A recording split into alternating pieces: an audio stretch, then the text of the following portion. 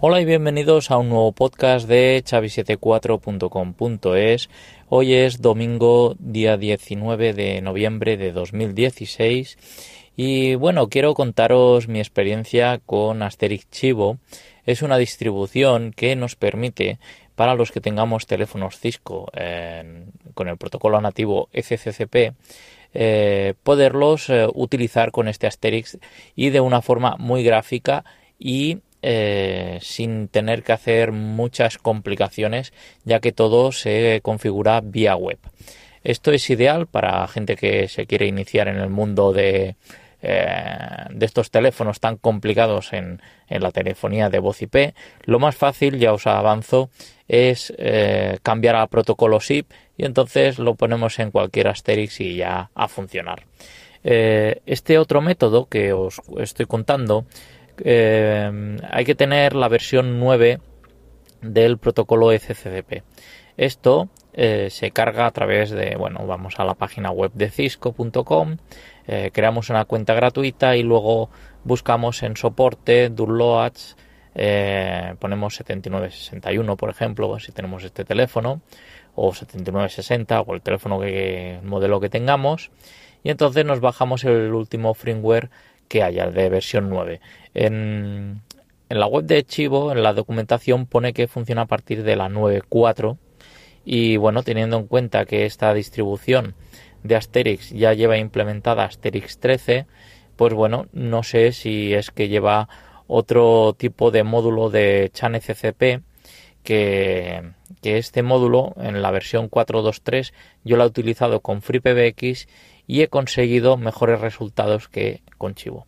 Pues, la experiencia que os voy a decir de Chivo es que es bastante complejo y, eso que es todo gráficamente y también pues no entiendo por qué cuando yo entro en, los plugins, porque para bajar los firmwares de Cisco entramos ahí y eh, elegimos el plugin de Cisco. También he visto que hay para teléfonos a valla, esto no lo he podido probar, pero en el caso de los Cisco pues viene el, el FCP 9.4 entonces entiendo que en la página web de Cisco me tengo que instalar primero este protocolo eh, FCP y que sea la versión 9.4 ¿no? desde ahí ya mm, bueno he cogido hay una unos dentro de, de la pestaña PBX eh, hay pues para crear los usuarios. Eh, el, procedimiento en realidad es primero eh, generamos una cuenta SIP. Luego dentro de la cuenta SIP solo sirve, entiendo yo, que será para loginar al usuario. Porque este Asterix Chivo sí que mm, te genera usuarios aleatorios y contraseñas aleatorias, que la verdad es bastante más complejo que nos puedan romper la seguridad en una centralita. Ya sabemos que una centralita de voz IP, eh, si nosotros ponemos cuatro dígitos de extensiones y cuatro letras o cuatro números de contraseña, va a ser la, centralita más insegura que haya y que nos pueden hackear muy rápidamente. ¿no? El caso es que esto está pensado, eh, son combinaciones de letras de nombre de usuario y contraseñas aleatorias, no se pueden cambiar por lo que he estado mirando. Y esto se le asigna a, una numeración que va a ser una extensión de, la centralita.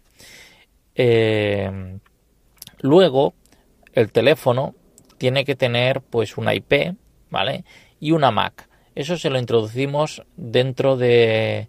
Eh, era esto en, en Devices, ¿vale? Entonces nosotros lo asignamos así y digamos que hace un, auto, un autoprovisionamiento. Esta centralita archivo también tiene eh, un DHCP propio para poder dar IPs en el caso de que no tengamos servidor DHCP. A todo ello hay que tener un servidor TFP porque ahí es donde se van a realizar los cambios entre el teléfono y, los datos que le vayamos configurando. Eh, ya os digo que Mm, a mí no me ha funcionado bien este, este método, ¿no? Bueno, he, creado todo, el usuario, mm, el número de extensión, lo he asignado al usuario y este usuario al final está adjuntado al, al teléfono. Si esto todo va bien, dentro de Devices, eh, la bola amarilla se tiene que convertir en verde porque ya se ha registrado. A mí de la bola amarilla no ha pasado.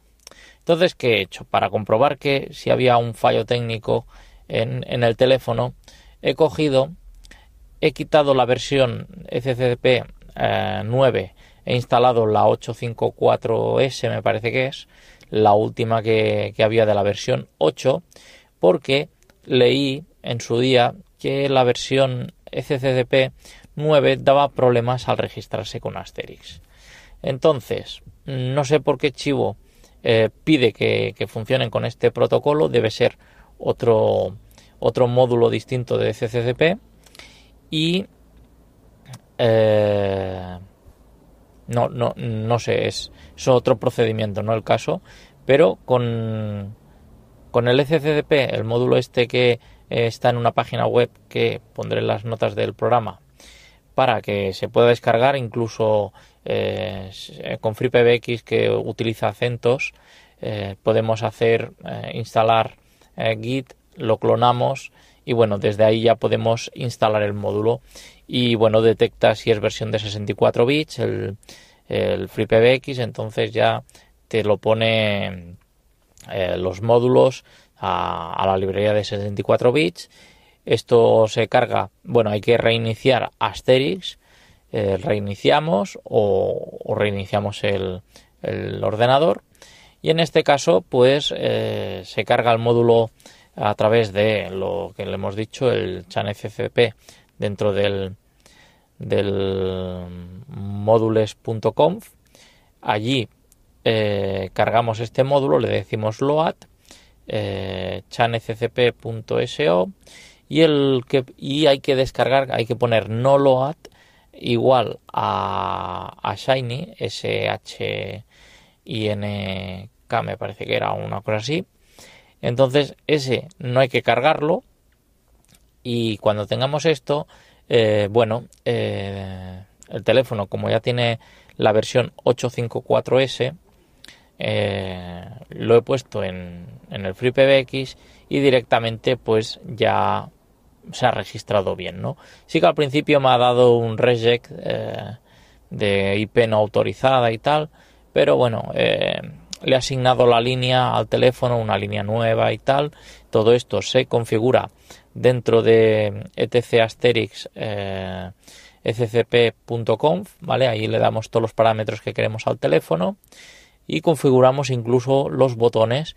Es súper rápido porque este módulo cada vez que lo guardamos eh, dentro de Asterix se crea en FreeBBX una carpeta que se llama eh, TFP eh, boot y ahí están los archivos donde se configuran el teléfono. Cada vez que hacemos un cambio en el conf se replica al teléfono tanto si son extensiones o lo que sea, y todo de forma muy rápida ya que estamos trabajando en modo local. Eh, entonces, mi experiencia en, en Chivo ha sido que por lo menos mm, batallaré un poco más, pero a día de hoy, eh, por mucho que sea gráfico, a veces va más bien que sea un poco más rudimentario la instalación de este módulo, ya que es algo especial, no es, no es lo más lógico tener una centralita Asterix que utiliza protocolo SIP y que la hagamos trabajar con protocolo nativo de, Cisco, ¿no? Es algo un poco raro, pero sí que es verdad que el protocolo Cisco, eh, las llamadas, eh, lo que es el marcado es mucho más rápido y, y nada, que es que no acabas, no acabas de pulsar, ya te está sonando la extensión o el número de teléfono, o sea que por eso lo deben llamar protocolo flaco porque directamente lo que va es a timbrar el teléfono y se ha acabado. Entonces, bueno. Entonces, concluyendo un poco, mmm, Chivo 0, eh, FreePBX1. Esta es la conclusión que he llegado porque supongo que también será que llevo también más tiempo trabajando con este tipo de, de Asterix, esta distribución de FreePBX, aunque mucha gente me, me dice, ostras, Elastix está muy bien, sí, tal. Eh, bueno, me gusta tener las cosas separadas y, por ejemplo, ahora estoy batallando un poco con A2 Billing para poder, eh, pues eso, facturar las extensiones, saber qué llama y tal, y poder dar servicios, por ejemplo, de facturación, ¿no? Una cosa así. OpenShips es otra otra distribución que, bueno, es un servidor también de, de voz IP, bastante interesante. Y, bueno, todavía no me he metido en el tema, pero seguramente que eh, lo probaré y a ver qué, resultados obtengo de esto, ¿no? Eh, como ya os digo, eh, mi experiencia es más por FreePBX y Asterix que, que en Chivo. Así que bueno, espero poder mm, sacarle mayor rendimiento porque sí que me ha gustado que las configuraciones de las troncales en modo gráfico es eh, muy fácil, cualquier usuario puede entrar ahí, pero hay que entender primero la mecánica eh, de cómo de cómo funciona esta esta nueva distribución de, Asterix y, y sí, la digamos que el aspecto gráfico ha ganado mucho, ¿vale? Eh, si lo comparamos con, con FreePBX en las primeras versiones, en la versión 11 eh, era espantoso, los cuadros y todo tal como estaba, ¿no? Parecía un poco viejo. En la nueva versión de FreePBX vemos ya que el diseño es un poco más, eh, más bonito, ¿no? De rectángulos con otro un poco más grandes, supongo que también para el tema táctil, ¿no? Que puedas gestionar la, centralita a través de cualquier eh, pues tablet, teléfono, lo que sea. Y, bueno, eh, como ya os digo, de momento no he podido con Chivo que, que, me funcione este, este sistema.